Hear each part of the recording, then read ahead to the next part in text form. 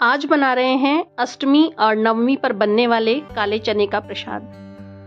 काले चने का प्रसाद जो कि माता को भोग चढ़ाया जाता है, बहुत ही आसान तरीके से बनाएँगे और बहुत ही स्वादिष्ट और चटपटे बनेंगे और बिल्कुल लिपटवा बनेंगे, जिसपे कि मसाला कोट हुआ रहेगा। और झटपट से बनकर तैयार हो जाएँगे। तो चलिए बनाना शुरू करते हैं माता के भोग में चढ़ने वाले प्रसाद के काले चने।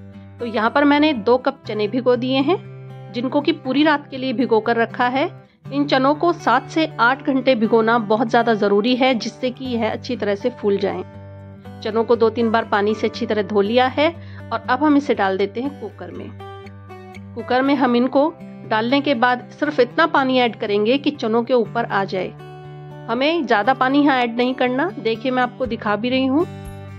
क्योंकि इसी पानी से हमें चनों को अच्छी तरह से फ्राई करना है और पकाना भी है। तो यहाँ पर हमने पानी ऐड कर दिया है। अगर आप नाप से देखें तो दो कप चनों में यहाँ पर डाला है दो कप पानी।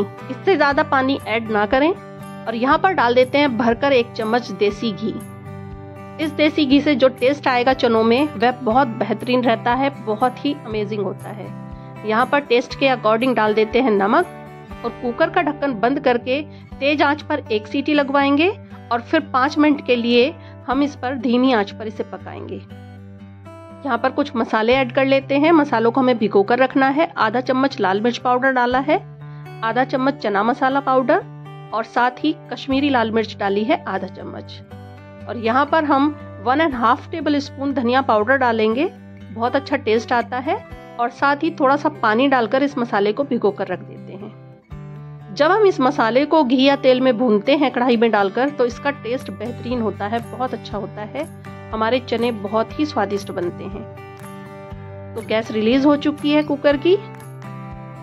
यहाँ पर चने अच्छी तरह से बॉईल हो चुके हैं और देखिए, घी डालने से हुआ क्या कि ढक्कन के ऊपर किसी भी तरह का पानी नहीं आया और बाहर नहीं निकला वो पानी। और चने बिल्कुल पूरी तरह से पक चुके हैं। अब इस मसाले में हम काट लेते हैं दो हरी मिर्च, जिससे कि चटपटे और तीखे बने। अगर आप चाहें तो स्किप कर सकते हैं। कढ़ाई को गरम करेंगे, मीडियम आँच पर उसमें डालेंगे एक चम्मच देसी घी। आप तेल भी इस्तेमाल कर सकते हैं, लेकिन माता के भोग के लिए बन रहे हैं तो मैं तो देसी घी में ही बनाती हूँ। एक चुटकी हींग ऐड करेंगे और साथ ही जो हमने मसाला भिगो कर रखा हुआ था, उसको ऐड कर देंगे। और आँच बिल्कुल धीमी रखिएगा, नहीं तो मसाला हमारा जल जाएगा। मसाले को हल्का सा चला लेते हैं। वह कुछ सेकंड्स में ही तेल रिलीज़ कर देता है और साथ में यहाँ पर हम मसाले में डाल देते हैं अपने चने। चनों को हम पानी से अलग नहीं करेंगे, पानी के साथ ही ऐड करेंगे।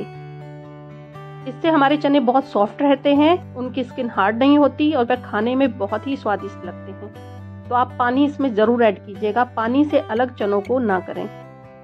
अगर चने चार से पाँच महीने पुराने रखे हुए हैं घर पर और आप उन्हें ही यूज़ कर रहे हैं। तो जब हम चनों को उबालते हैं तो आधा चम्मच खाने का सोडा ज़रूर डाल दीजिएगा क्योंकि उसी से वो बहुत ज़्यादा सॉफ्ट बनेंगे।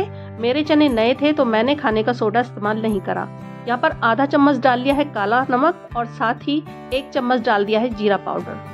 नमक आप देख लीजिएगा, क्योंकि हमने उबालते समय भी नमक ऐड करा था। काला नमक डालना ज़रूरी है, इससे बहुत अच्छा टेस्ट आता है चनों के अंदर। यहाँ पर मैं किसी प्रकार की खटाई का इस्तेमाल नहीं कर रही हूँ, ना अमचूर का, ना चाट मसाले का, क्योंकि हमारे यहाँ जो भोग लगता है, हम उसमें खटाई का इस्तेमाल नहीं करते। अगर आप करते हैं तो आप डाल सकते हैं। क्योंकि हम इसमें टमाटर भी यूज़ नहीं करते तो किसी तरह की खटाई हमारे भोग के प्रसाद में नहीं जाती। चने बनकर बिल्कुल तैयार हैं। यहाँ पर दो तीन चम्मच हमें पानी बचा कर रखना है। बिल्कुल ड्राई चने नहीं करने हैं, क्योंकि उसी से सॉफ्टनेस बनी रहती है चनों के अंदर।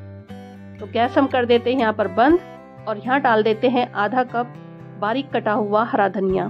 हरे धनिया को मैंने डंडी समेत काटा है। मैं डंडियों को हरे धनिया से अलग नहीं करती क्योंकि सब्ज़ी का इससे टेस्ट बढ़ जाता है। बहुत अच्छी लगती हैं हरे धनिया की डंडियाँ भी।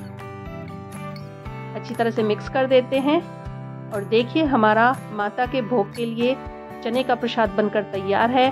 आप इसे बिना माता के भोग के लिए भी बनाएँगे तो बच्चे इसे झटपट खाएँगे। और अगर आप बिना भोग के इसे बना रहे हैं तो इसके ऊपर आधा नींबू डालना ना भूलें। इधर मेरा हलवा भी तैयार है बनकर। तो भोग के लिए हलवा और चने, दोनों चीज़ें तैयार हैं। बहुत ही अच्छे चने बने हैं खिले खिले और बिल्कुल इनके ऊपर मसाला एकदम कोटेड है। तो आप इन चनों को बनाइए, खाइए। और अपने अनुभव मेरे साथ ज़रूर शेयर कीजिए और मुझे बताइए कि जब आपने ऐसे करके चने बनाए तो आपके चने कैसे बने। अगर वीडियो पसंद आई हो तो लाइक शेयर और सब्सक्राइब करना ना भूलें। मिलते हैं नेक्स्ट वीडियो में। तब तक के लिए नमस्कार।